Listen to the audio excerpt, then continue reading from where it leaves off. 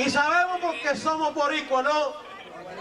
Y yo soy boricua porque Mariana Bracetti, ella hizo una bandera. Y Manolo Leñero, en el 68, dieron un grito allá en Lares, que formó la nación puertorriqueña y la nación boricua.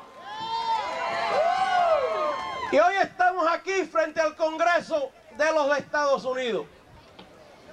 Pero recuerden que nosotros, hace unos años atrás, celebramos nuestros 500 años de ser Puerto Rico. Los Estados Unidos cumplió nada más que 200. Nada más que 200. Cuando no habían americanos aquí, habían puertorriqueños en San Juan. Cuando no habían americanos en este continente, un puertorriqueño estaba llegando a la Florida que se llamaba Juan Ponce de León. Y hoy hablamos de Nidia como la primera puertorriqueña en el Congreso y le damos ese honor. Pero recuerden que hubo otra puertorriqueña en el Congreso y se llamaba Lolita Lebrón.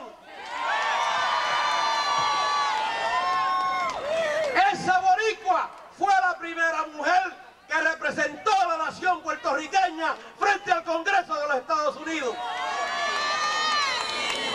Y pasó 26 años en las cárceles por estar diciendo que su patria, su nación, merecía ser libre. Y hoy tenemos a todos aquellos nuestros luchadores que hoy están muriéndose en las cárceles federales porque su único crimen ha sido levantar la bandera puertorriqueña y si ellos son culpables, todos son ustedes también culpables de ese crimen. Así que miren,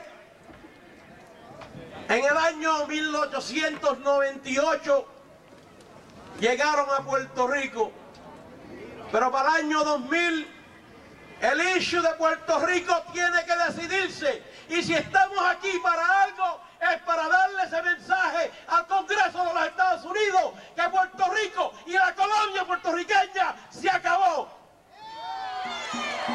Y eso es lo que nosotros tenemos que seguir pensando mientras sufrimos en los barrios de los Estados Unidos, mientras sufrimos las más malas viviendas, mientras sufrimos los insultos, cuando tratan de negarnos nuestra cultura, cuando tratan de negarnos nuestro idioma, cuando nuestros niños no conocen a Betance, no conocen a Otto, no conocen a Julia de Burgos, eso es que lo están tratando de eliminar como nación y como.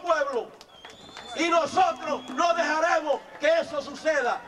Mientras nosotros estemos en Filadelfia, estemos en Nueva York, vamos a decir presente y Julia de Burgos, la poeta nuestra, los poetas nuestros, los líderes y los próceres nuestros seguirán viviendo.